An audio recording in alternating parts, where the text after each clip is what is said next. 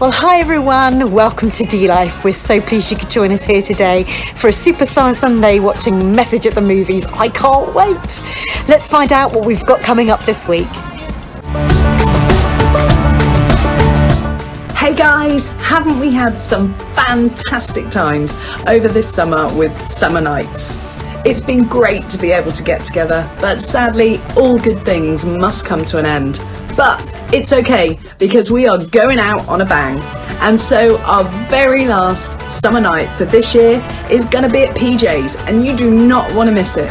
Because if you've been there, you know that they do the most amazing ice creams. That they have pretty much every flavour that you can imagine. You can add uh, all sorts of sweets. They have different types and flavours of cones. So make sure you're there. 6:30 at PJ's, just opposite the pier give your name to a host today. I'm definitely not going to miss it. You don't want to either, so I will see you there. That's it for D Life for this week. Have a fabulous week.